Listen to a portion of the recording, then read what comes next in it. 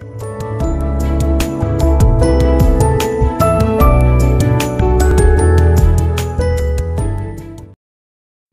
and welcome to my nutritious recipes मेरे channel पर आपका स्वागत है। शुरू करते हैं अपनी आज की रेसिपी आज की रेसिपी बहुत ही अच्छी टेस्टी बनी है। सबसे पहले पैन को लो फ्लेम पर रख देंगे और उसमें डाल देंगे एक बोल गेहूँ का आटा वीट आटा। और उसे हम करेंगे ड्राई रोस्ट पहले हमें घी नहीं डालना है, एक मिनट में उसकी नमी हटानी है पहले हमें। एक मिनट के बाद हम क्या करेंगे, उसमें दो चम्मच घी डाल देंगे। देसी घी लिया है मैंने यहाँ पर। और फिर हमें उसे सेकते रहना है। इतना रोस्ट करना है कि उसका कलर गोल्डन ब्राउन हो जाए। कच्चा आटा बिल्कुल भी नहीं टेस्टी लगता है।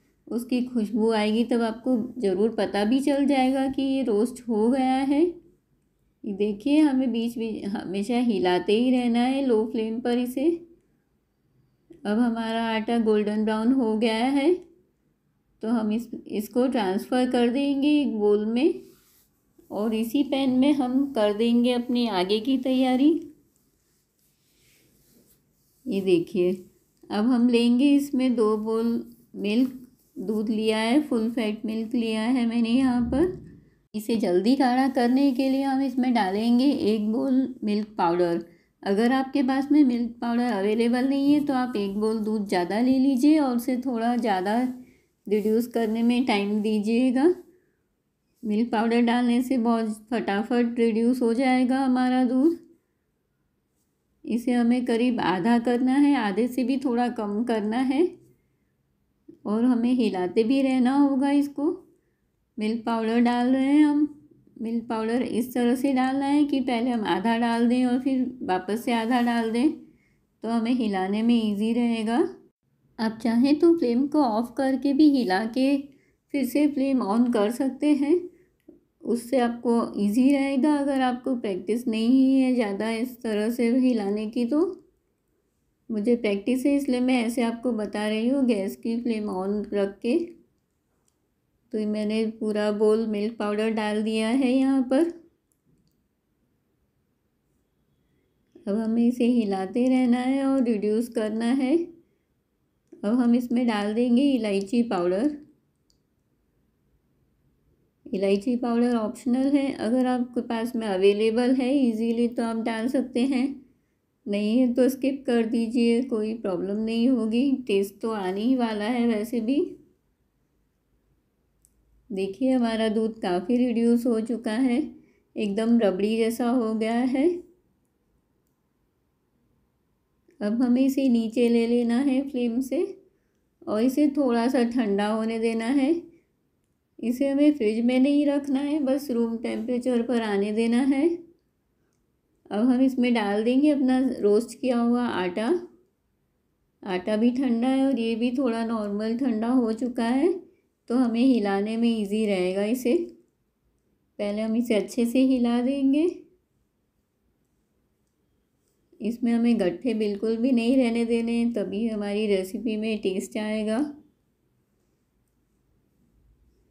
अच्छे से मिक्स हो गया, अब हम इसे ट्रांसफ़र कर देंगे दूसरे बर्तन में। और इसी पैन में हम लेंगे एक बोल शक्कर और एक बोल पानी। अब फ्लेम को ऑन कर देंगे और फिर हम इसे थोड़ा थोड़ा बीच बीच में हिलाते हिलाते इसकी चाशनी बना देंगे। ये देखिए। चाशनी अच्छे से बनानी है हमें।